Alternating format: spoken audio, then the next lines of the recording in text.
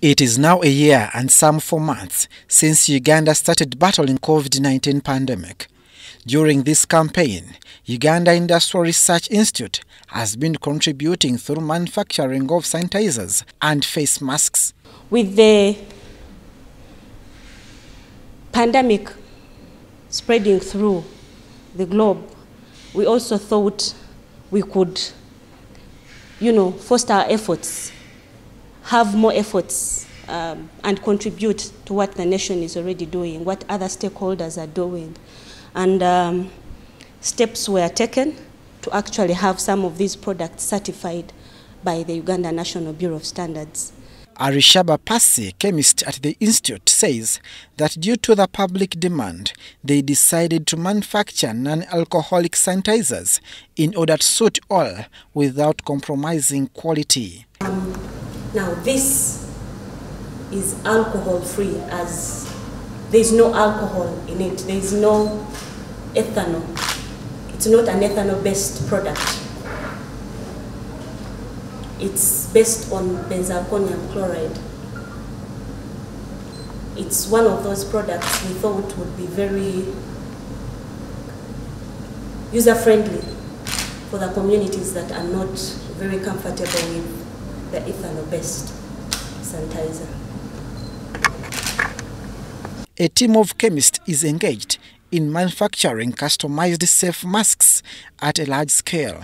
The National Bureau of Standards they have a laboratory recognition scheme. So they um, check certain laboratories and ensure that they meet their requirements. And if you meet all their requirements, you're given a certificate of recognition.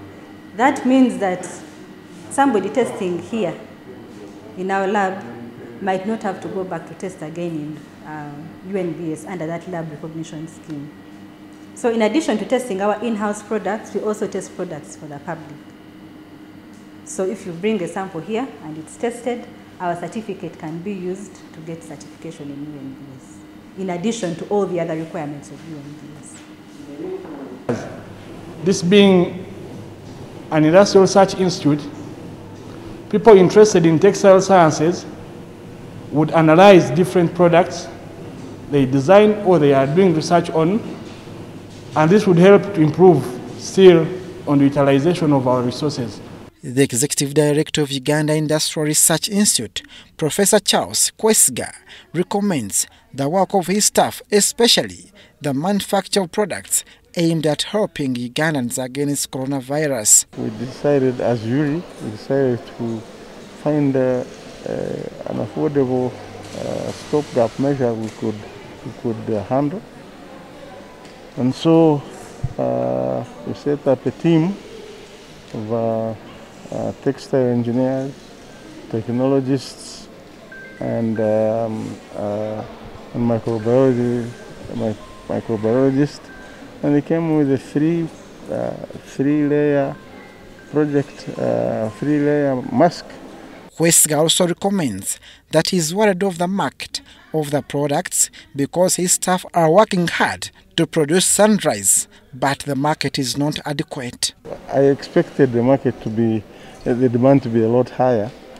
But uh, as everybody is beginning to realize, uh, our people have tended to, to, to really not take the pandemic as seriously as, uh, as we should.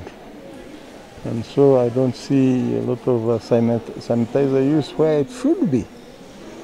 Uh, but I'm sure we're going to wake up the reality that we need uh, such uh, products. Mask makers applaud Uganda Industrial Research Institute for the good cooperation and employing them during this lockdown. We are working in lockdown and they are paying us well. Uh, we have a daily target of 100 per day and we are expected to make 600 after a week. Those are 60 days. Uh, so far, we have no challenges.